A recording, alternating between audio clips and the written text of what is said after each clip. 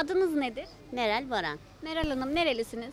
Sinopluyum. Nerede ikamet ediyorsunuz? Gazi Osman Paşa'da. Gazi Osman Paşa Belediye Başkanı'nı tanıyor musunuz? Tanıyorum.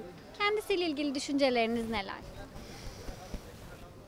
Şu an nasıl bilmiyorum ama bir dönemde düşüncelerim iyi değildi yani. Şimdiki bu dönemde nasıl çalışıyor, ne yapıyor daha şey gitmedim. Öbür dönemdeki düşüncelerim iyi değildi. Çünkü insanlar kapısına gittiği zaman geri çeviriyordu. İnsanlarla görüşmek istemiyordu. Ondan sonra bir de benim bir şikayetim var. Bu bayanlara ait bir alan istiyorum ben. Sırf her yerde erkekler var. Bu bayanlara da ait bir alan yapabilirler yani pis pis küfürler ediyorlar. Biz onlara mağduz kalıyoruz mesela. Onlara mağduz kalmamak yani zorunlu. Bir şey istiyorum yani. Bir bayanlara ait bir yer olsun istiyorum. Öyle bir yer yani tercihim yani. Peki İstanbul Büyükşehir Belediye Başkanı'nı tanıyor musunuz? Evet tanıyorum İmamoğlu. Kendisiyle ilgili düşünceleriniz neler?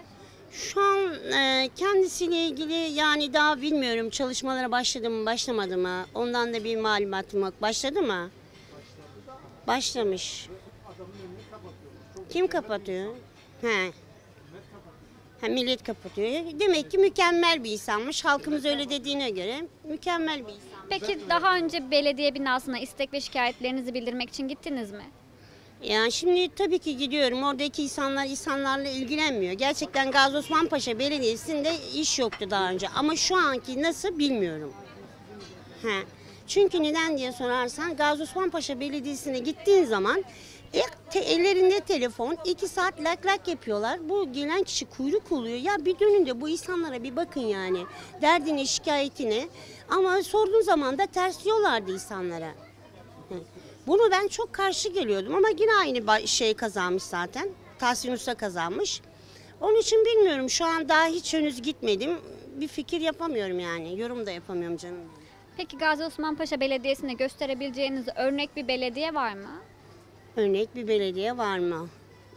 Hmm, Eyüp Belediyesi daha güzel diyorlar yani. Duyduklarıma göre. Gazi Osman Paşa Belediye Başkanı'na vermek istediğiniz bir mesaj, talep veya beklentiniz var mı? Tabii ki e, benim istediğim şu, insanlara iyi davransınlar. Seçimlere yakın iyi davranıp da seçimlerden sonra kimseyi horlamasınlar. Nasıl seçimlerde davranıyorlarsa öyle davranmalarını isterim yani. Benim beklentim bu yani. Çok teşekkür ederim.